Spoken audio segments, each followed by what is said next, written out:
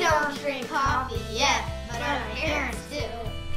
We noticed that every time they made a cup of coffee, those little K-cups were being tossed into the garbage. That's just not cool. The cup is made up of three layers of plastic.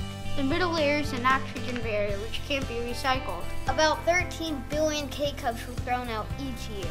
If you line them up next to each other, They would circle the earth more than 10 times.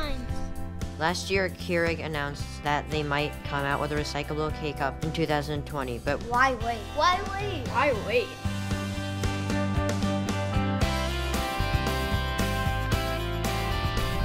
It's way better for the environment. And we think you'll like what you're about to see.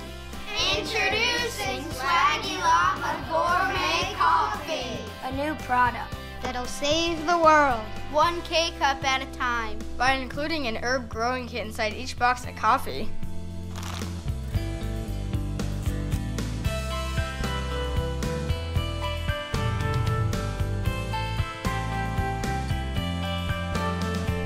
But wait, there's more.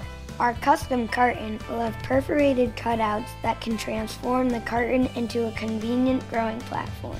Pretty cool, right?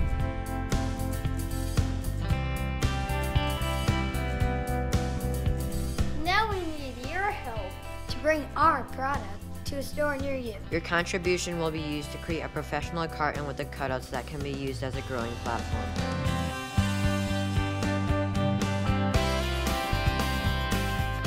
Help us save the earth one K cup at a time.